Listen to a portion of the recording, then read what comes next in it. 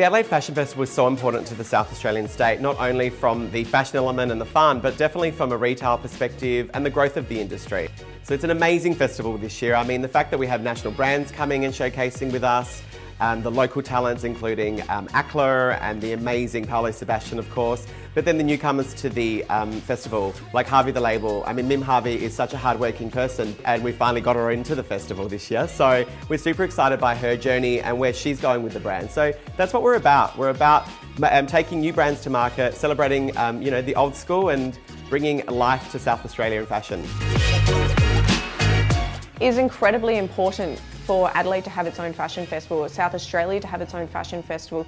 Adelaide is the centre of South Australia, but there are definitely designers. I know one designer, Ashley Lauren, coming from Mount Gambier.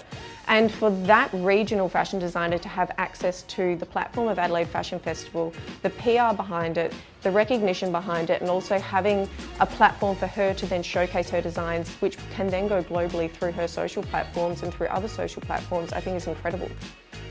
Typically, there's not a lot that we're missing out on. We have a lot of global brands here and it's really shown that in the last couple of years that South Australia's been supported, that we can as businesses come together in our own communities and expand globally.